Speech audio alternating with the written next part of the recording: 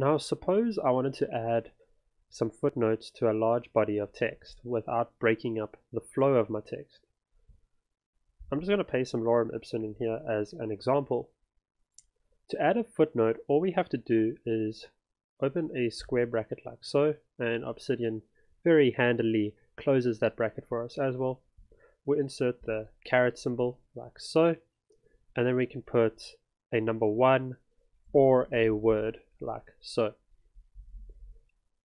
This is just a unique identifier, so Obsidian knows how to pair the footnotes together. So we can put a number one like so. Then I'm going to press enter, and then I'm going to press enter again, otherwise it does not work.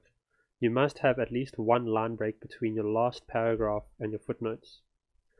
I'm going to just open my square brackets and type in the exact same thing again, caret 1. And here's the change. After the caret 1, we want to put a semicolon and immediately Obsidian notices that this is a footnote. I'm just going to add some text here, some text here.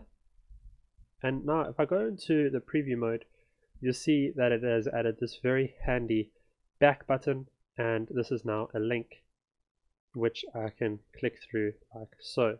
You can imagine in larger text documents of a thousand or more words that this would start to get very helpful if you're wanting to make comments on things or cite your sources, or add any other information without breaking the flow of your text.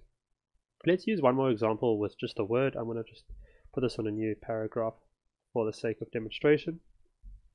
Let's do caret word and I'm just going to go to a new line here open my square brackets caret word and semicolon this is all about that word.